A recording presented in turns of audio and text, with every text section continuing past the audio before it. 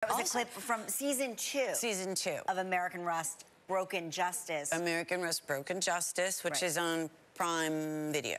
Prime Video. So which is what we're supposed to say. Grace Pro. Grace, Poe. And everyone always says my name, Grace Poe. Grace Grace oh, Poe. Grace Yeah. Poe. I don't Yeah. know. And look how deep my is my voice that deep? I'm like, I don't. You're gonna sign. was I thinking? Grace Poe's okay. voice is that I'm gonna deep. do maybe. So tell us about the series.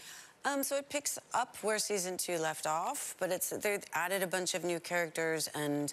Um, the Jeff Daniels doesn't live in the small town of Buell anymore. He's moved to Pittsburgh, so a lot of the show takes place in Pittsburgh. My character's circumstances kind of completely change, and you know she's comes into a little bit of money actually, which is really different from Right. what we've seen before. So to watch her uh, handle that and well, uh, you know, most people did a bad thing in the first season, so they're all trying to fix it Yeah, I in the watched second it. season. It's not, a, it's, not a, it's not a comedy, but I, I No. read that you try to bring funny. This year, I Yeah. pretended Yeah. it was a comedy. no, I did. I, I tried to.